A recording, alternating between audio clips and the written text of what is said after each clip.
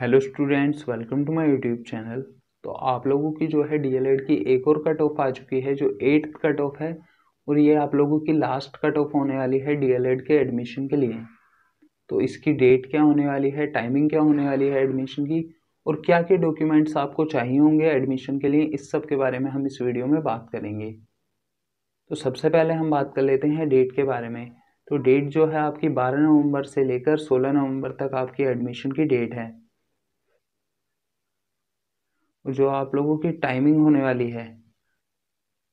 तो टाइमिंग आप लोगों की जो है नाइन एम से लेकर फोर पी तक आपकी जो है एडमिशन की टाइमिंग होगी। इसके बाद हम बात कर लेते हैं लिस्ट कैसे चेक करनी है आपको। तो लिस्ट चेक करने के लिए सबसे पहले आप ऊपर जाओगे।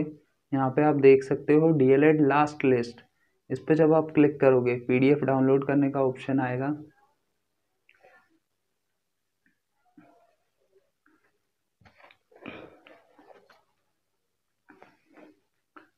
पीडीएफ डाउनलोड करने के बाद आप सर्च में जाकर अपना रजिस्ट्रेशन नंबर डालकर अपनी जो है नाम चेक कर सकते हो। लिस्ट में आपका नाम आया है या नहीं?